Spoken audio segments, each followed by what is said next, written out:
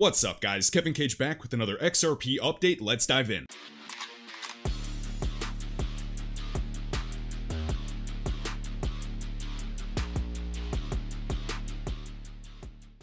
Hey, really quick guys, so I just recorded this entire video and I'm using a new audio software because my mic was glitching, so I'm going to try to fix that. Throughout this entire video, you're going to hear my voice coming in and out. I do apologize, I'm working to mitigate that as soon as possible. Thanks for your patience and let's get into it. What is up guys? So I'm beyond happy to come back from vacation. I know the last video we did before I was saying bye was on April 1st and look where the price was on April 1st. XRP was about 57 cents on vacation. I was trying not to check my phone. I was in Key West and, as well as Miami. Did not have the best cell reception, but man, I was just fiending to look at the charts. We saw that we were even wicking well over close to a dollar fifteen on some exchanges.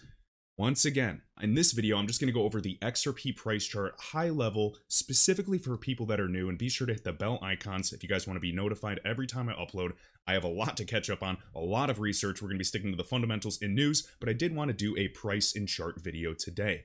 So, Yet again, all the people that were buying at 20 cents, at 30 cents, at 50 cents are reaping the rewards. So I know that some of us are afraid because we're wicking down back to 96 cents. We came down almost tapping that EMA.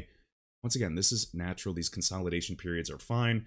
Just to paint some perspective, we are still at several hundred percent on the year of 2021, even during a massive lawsuit with the SEC. Do I think that Ripple comes out on top? Yes, absolutely. I know that people will laugh when I say zero doubt in this asset class. I believe it can't be stopped. I think this is a giant algorithm. We're going to look at the macro trends. You guys can disagree, that is completely fine. Let me know your thoughts down below. But I wanted to show you a few things right here, okay? So right now, we're on the daily chart.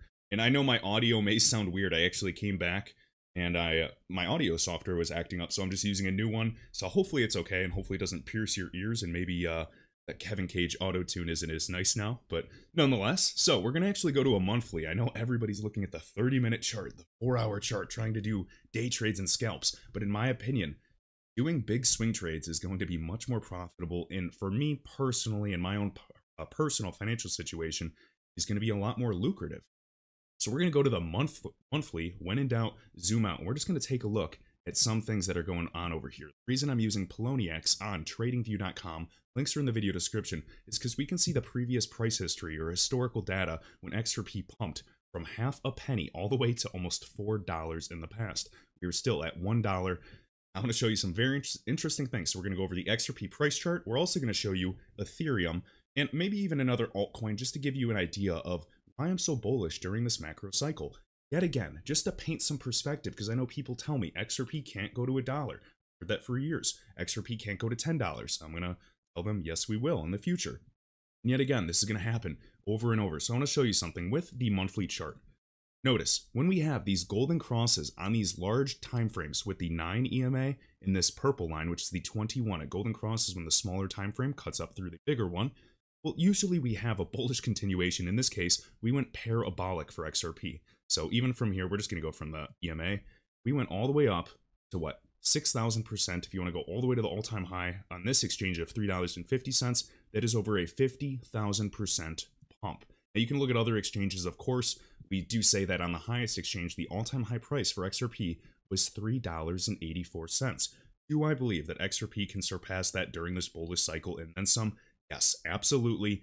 I'm going to be holding my XRP. It is one of my biggest bags.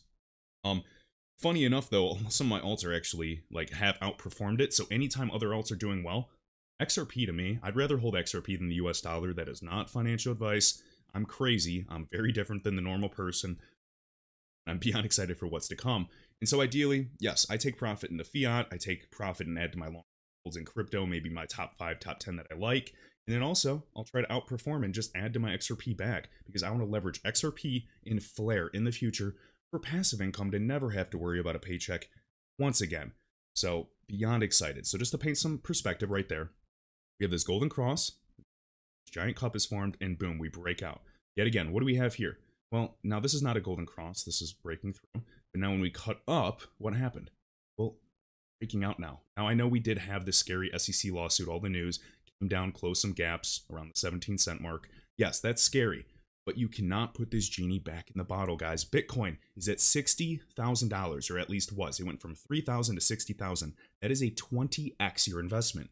XRP, 50 cents times 20 times, you know, 20x is literally $10. Um, could that happen during this bullish cycle?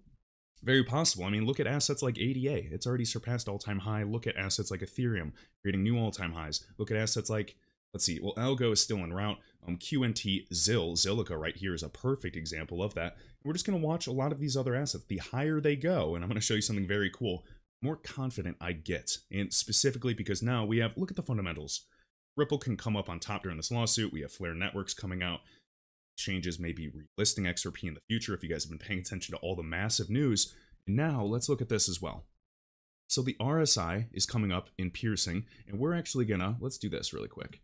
Let's split this screen, and we're gonna pull up ETH, and ETH is on the monthly. So we're just gonna look at this part and try to even it out. And this is why I just get so excited. Now, I realize that, of course, Ethereum, this fractal actually matched um, Origin Protocol, the asset that we bought at 22 cents, and it went all the way up to $3. It hit $3 either yesterday or the day before. That is well, well above a 10x your investment in a matter of two months. That is absolutely insane. And of course, OGN, I studied the fundamentals, and now they're saying that it's potentially going to be added to Coinbase. It's on their blog, it's one of the assets that they're looking into. So, of course, the NFT hype we're just going to be capturing these trends and trading accordingly. So, notice, and I'll, I'll actually show OGN as well just to kind of give you some perspective, but why am I so freaking confident in XRP, at least long term in the future? Because of data like this with these macro trends. So let's just look at the RSI on the monthly. Most people don't look at the monthly because it's it's boring, frankly. But why on earth are you trying to um, scalp or day trade on a four hour or 30 minute chart if you don't even know the macro trend? You have to do a top down analysis. So, yet again, know this is sloppy see how this RSI right here pierced through. We have a massive bullish continuation. Yet we even had a golden cross right here. Same thing is applying. I know we had that scare, boom. But what happened? We're still coming through, breaking through June 2018 highs all the way to, you know, now breaking essentially January 2018. We're trying to get through that all-time high price. And we'll also draw some, uh, plot some fibs here I want to show you, but we are watching this monthly time frame. Is it going to be another shakeout and back test, or is it finally ready to get things going? I have not been watching any analyst. I've been extremely busy, um, and I am really excited to get back into it. I want to see what other people are saying as well, um, and kind of just gauge overall the sentiment of this market.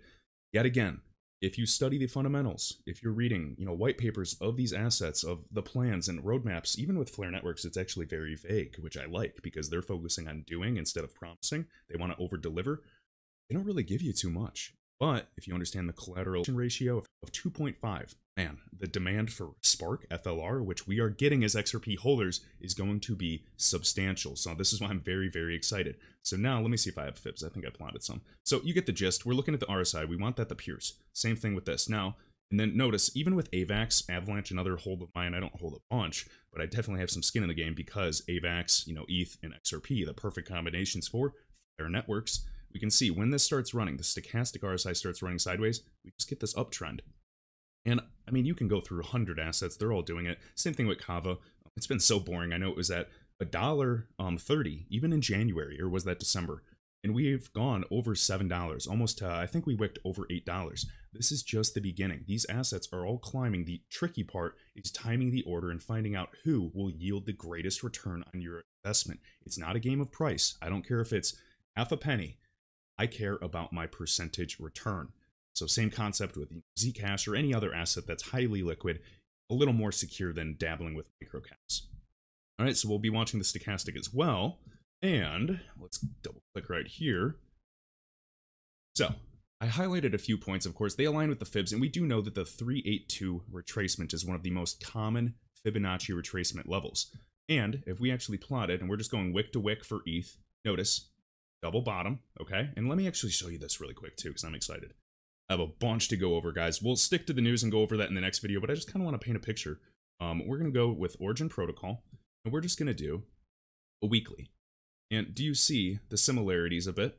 See how this double bottom right here, double bottom right here. So it's this giant cup, double bottom, came here, boom, checked all these, kind of a little back test to these levels, you know, cutting through the EMAs, however you want to see it, and then this bullish continuation. So once again, we have this golden cross. This is when we entered. It went all the way up. And this is only during the bull run, only during, you know, only during alt season. It doesn't take a genius, but you have to capitalize on these moves while they last. So, what happened here? We're doing the same concept. And now we're almost en route to the 1618. And what is that price for Ethereum? That's 2,317 bucks. So about 2,300. If, if, if, if we see Ethereum, which I'm rooting for, guys, I'm not hoping that one does better than the other. I don't care. I have skin in the game. I hold a variety of assets. I'm rooting for everybody. This transfer of wealth is arguably going to be one of the biggest things that happens in our lifetime, and it's only going to happen once. Now, there may be more bull runs in the future, and this one potentially could last a couple years like some analysts are projecting. However, I like erring on the side of caution, preparing for the worst and capitalizing on what's to come, just like Zig Ziglar says. Man, I mean, even the 4.236, of you know 5000 6000 bucks. I know you can move this up a little higher and you're seeing you know ethereum at 10000 or 20000 dollars in the future. Do i wish that happens? Hell yeah absolutely. Do you know what that means for xrp $10 plus $50 plus maybe even $100 plus a lot sooner than we expect. So i just wanted to share that.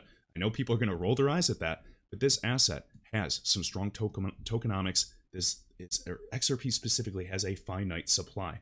So you get the gist here just this cup Notice same thing. Psi, cutting through. These are macro. Now, if you want to go through to the, you know, weekly, on Ethereum, you can do the same thing, but this just has so much historical data, so I wanted to plot it with the monthly, right?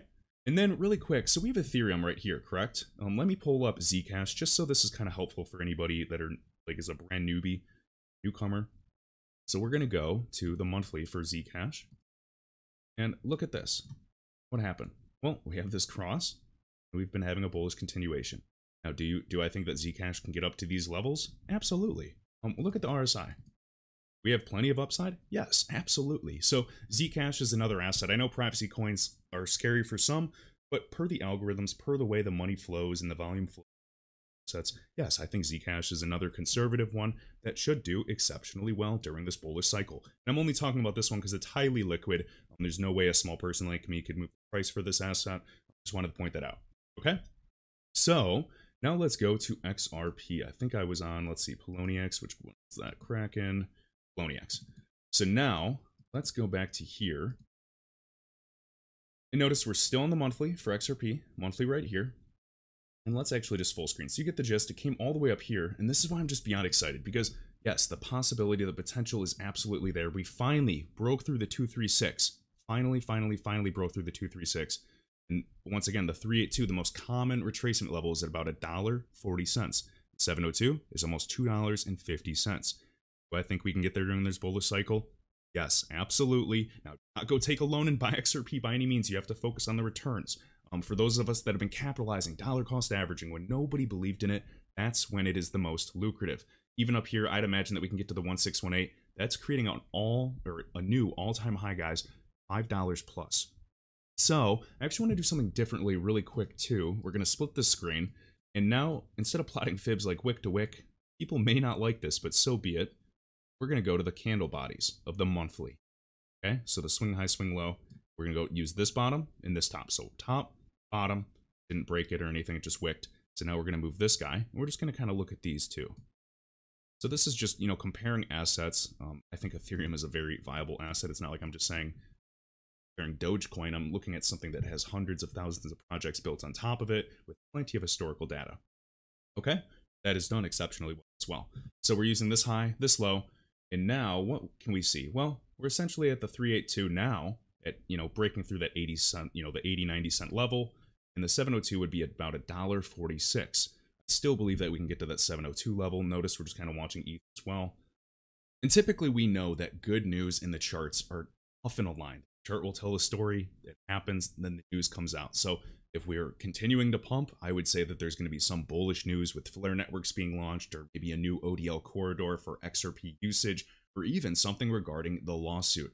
This is how this happens time and time again. So we're going to be watching this space, keeping our eyes peeled. In other news, we have XRP Crypto Wolf even sharing this. Ripple, this is trending, a trending tweet in the cryptocurrency space. Of course, XRP is the digital asset, Ripple is the company, but as we know years ago, they use you know use these terms interchangeably and a lot of people ethereum maxis bitcoin maxis i love them it's all good and great they still call xrp ripple and that's fine um, they're typically just og's in the space that have been here for quite some time um, also friendly reminder for anybody just to please be safe there are scammers in the comments on instagram on twitter i will not ask you to send me money at all i will not give you my phone number Um, do not fall for that. They're using my picture. They're using all kinds of stuff on Instagram, trying to um, essentially try to give you trading tips for Bitcoin.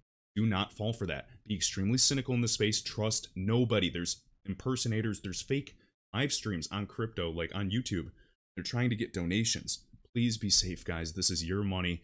There's tons of money to be made in this market, but with that, there's a lot of eyes for scammers and bad actors.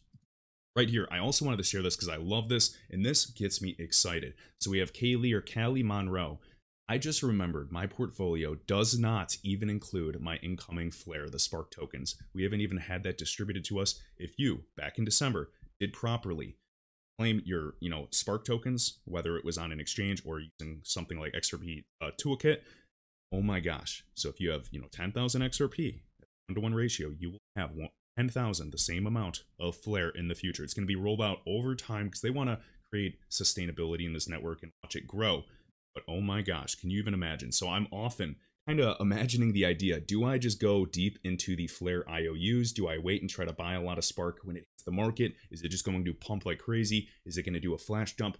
What is the best plan of attack? And I've been brainstorming that at the end of the day, we should all be happy in the XRP community that we have some skin in the game. So hopefully you guys enjoyed this video. I just wanted to show you when in doubt, zoom out, plot some fibs. You can do whatever you want. There's some other fractals and data that I'm looking at. All in all, my personal opinion is that XRP can continue to rise and we can see $2 plus in a relatively quick manner. If we do do any back tests, if we go even on the weekly, and I just said do do, we go on the weekly, we come back. Please, please, please, when in doubt, zoom out, guys. Do not be afraid. Understand you can. We've been in a bear market for several years. If there are any types of flash dumps, I'm going to be buying. That's my personal choice. I didn't come this far to panic sell. Idea is, and I know uh, Stedas was quoting me, and he's a great person and great website to learn more about XRP. That is stedas.hr, S T E D A S.hr. You can read more about XRP and see some infographics. But the idea is to position yourself in these assets before they do the parabolic moves. And to be honest, yeah, $1 is psychologically nice and we all deserve it. You all deserve it for doing your research every single day and staying strong, even if you have lost faith. But hey, I'm going to be celebrating when we're at these levels, creating all, you know, new all-time highs. Yes, I believe that. Um, and I don't, I don't know why you wouldn't. Bitcoin's done a 20x. Ethereum is at a new all-time high. ADA is killing it. Even VeChain is crushing at 11 cents. Uh, XLM is still going to move. I just think that this is the right time and place to be here. Crypto is going to become more and more mainstream. It's going to be the hot thing to talk about. People are going to act like they know. And at the end of the day, none of us really know. Because remember, consensus or value is nothing but consensus. And that's what Brock Pierce has said. This is all just a social construct. And if we capitalize on these trends properly, can make life changing wealth for all. So I hope you guys enjoyed. Be sure to tune into the next one, and I will catch you in the next video.